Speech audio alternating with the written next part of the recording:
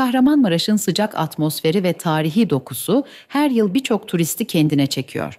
Ancak bu eşsiz güzellikteki şehirde yaşayanlar da tatil planı yapmakta. Kentteki yerel turizm sektörü temsilcileri önümüzdeki tatil döneminde Kahramanmaraş halkının tatil planlarına ne kadar ilgi gösterdiğini merak ediyor.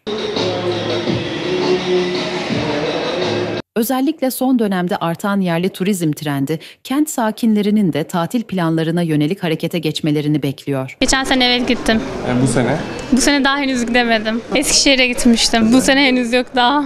Ben de bu sene bir yere gitmedim daha. Okulumdan dolayı stajım var. Yaz stajım onu yapacağım. Geçen yıl ben de gitmiştim Eskişehir'e. Eskişehir'de gezmiştik. Bu yıl bakalım kısmet belki Eylül, Ekim gibi. peki nereye gitmeyi düşünüyorsunuz? Yine Eskişehir'e gitmeyi düşünüyoruz. Çünkü orada arkadaşlarımız falan var. Onlarla vakit geçirmek için. Hem de gezilecek en güzel şehir bence Eskişehir o yüzden. Kahramanmaraşlıların tatil dönemlerini nasıl değerlendirdikleri ve tatil planlamasını Aksu Haber olarak sizler için araştırdık. Yok tatil planım yok. Gitme şansım da yok. Yani uzun zamandan beri tatilde de çıkamıyoruz aslında da. E dükkan, iş güç anca yani ev yani gitme şansımız yok. En son herhalde bir 15 sene oldu hemen hemen. Gitmeyeceğiz ve gitmedik. Vallahi abi düşünüyoruz Antalya diye. En son ailemle gitmiştim Mersin'e.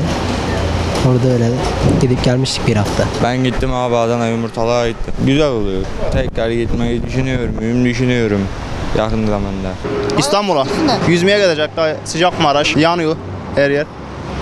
İşte böyle olmuyor. Sıcak. Sanayide çalışıyor. İstanbul'a gittim gene. Gene gideceğim. Ha biz çalışıyoruz bizim plan işimiz yok. Dondurmacık biz.